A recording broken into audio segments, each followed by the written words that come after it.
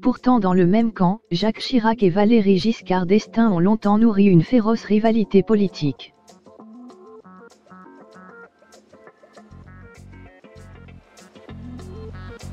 Des relations tendues qui se sont traduites par de nombreuses vacheries.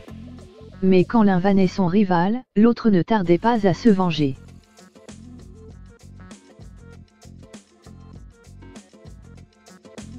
Lundi 30 septembre, en l'église Saint-Sulpice, de nombreuses personnalités politiques françaises ou internationales sont venues rendre un dernier hommage à Jacques Chirac, lors des funérailles de l'ancien président de la République décédé le jeudi 26 septembre dernier.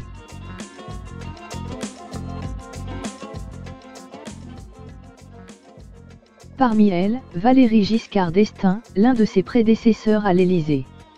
Pourtant, entre les deux ex-chefs de l'État, les relations ont très tendu pendant des décennies.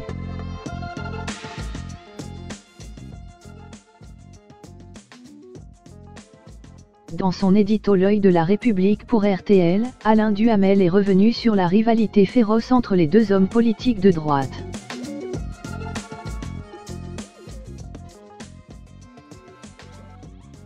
Jacques Chirac et Valéry Giscard d'Estaing ont nourri durant des années une rancune tenace l'un envers l'autre, qui s'est traduite par une opposition politique et de nombreuses petites vacheries.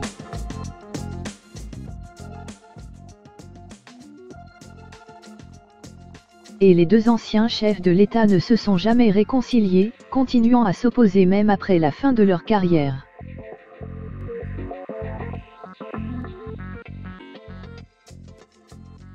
Alain Duhamel a ainsi raconté dans son édito comment les deux anciens adversaires ont croisé le fer au Conseil constitutionnel.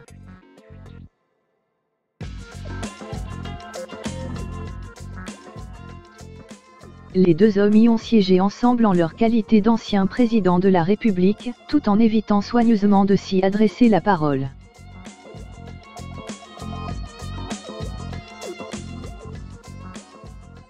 Mais lorsque Jacques Chirac s'est retrouvé la cible d'une vanne de Valéry Giscard d'Estaing, il n'a pas tardé à se venger.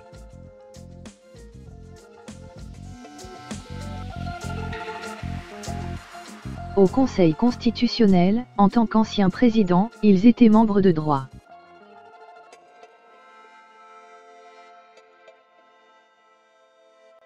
Il y avait au milieu Jean-Louis Debré et un ancien président à gauche, un ancien président à droite.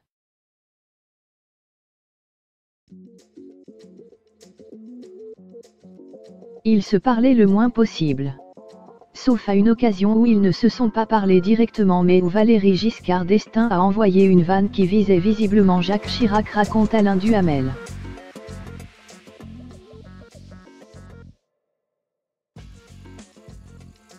L'époux de Bernadette n'a alors pas tardé à répliquer, Jacques Chirac a demandé à intervenir peut-être un quart d'heure après pour donner une réponse qui n'avait rien à voir en apparence avec ce qu'avait dit Valéry Giscard d'Estaing, et il a glissé, moi, j'ai su me faire réélire.